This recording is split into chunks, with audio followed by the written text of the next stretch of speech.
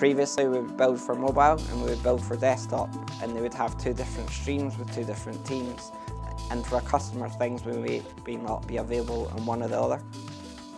With a responsive site our aim has always been that no matter what device you're getting the same journey and the same product and that again was another reason for us to tackle it responsively. It allows us to, I'd say, be, be more innovative be more disruptive. Uh, it allows us the, the freedom and flexibility to, to, to make changes when we want to make changes. Uh, it means that we could adopt a, a faster, leaner, agile way of working.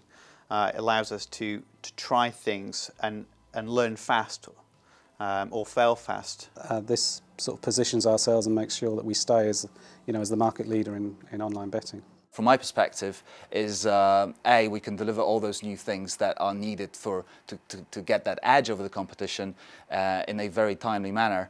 And also some of the uh, technical stuff we will be able to do because of that will be A, challenging for developers, but also really good for the company. No one else has got a site quite like the Trafalgar site. It's not as, it's not as fast as we've got it. Uh, we use the technology that we have. Um, and to have a single site that works across any device is um, extremely powerful there was lots of different facets of the business. You know, we needed to to show and prove to them that you know we could do this. You know, you know we had a very good vision on on what we would do, how we would do it. Um, you know, and really what the the benefits overall would be. It's, this isn't just building a website. This is building. We had to build the platforms to build the website on.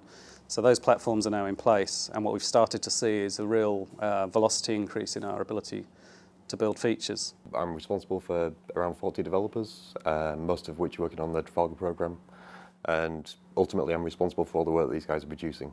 The biggest challenge is is a lot of new technology. So where we before we relied on third parties like OpenBet, um, who pretty much built everything. They owned the whole technology stack. You know, we've we've brought this in house. So at Trafalgar, we've had to expand our skill sets to be able to do web development essentially, be able to build our new website and everything that goes with that. Functionality for customers to actually uh, manipulate the site themselves so they can build their own coupons, they can put their own matches together, they can choose their own markets and opportunities. It's, it's cleaner, it's faster, um, you know, it's much easier to navigate. We've, we've thought a lot about the user experience. The fact that we've taken a decision to turn it into a single page app, a lot of websites you visit, you, each time you click a link, loads the entire website each time. Once you've once you've loaded the website, which is quick initially, everything within there will be even faster. There's a lot of uh, things that will, I don't know if people find sexy on the side around scoreboards, around streaming. That's really something to look forward to. It's going to make things a lot easier and a lot quicker for us to release any new features. So we're starting to use some of the uh, iPhone hardware such as the Touch ID to allow us to authenticate customers. So it's something we're able to do much more quickly than having to go out, raise, um, present it to the third party, get the estimates, come back with the development, test it internally.